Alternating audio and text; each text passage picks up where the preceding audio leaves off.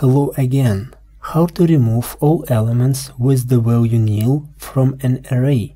Create a new constant.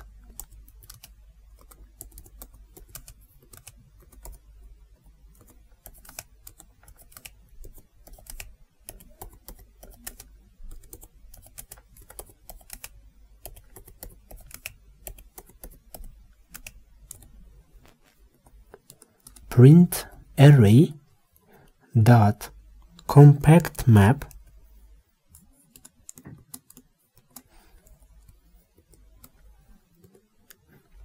Let's run and check. Great. Thanks for watching